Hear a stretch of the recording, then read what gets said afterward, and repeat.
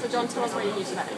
Uh, I'm here as part of the National Blood Challenge for uh, the Red Cross. Uh, CFA has been involved in the uh, state challenge for a while and uh, I'm just coordinating some of the people out of headquarters.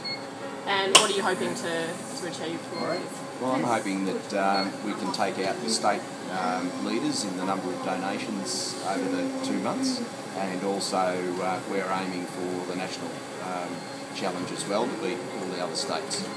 And, and why is this particularly such a good cause?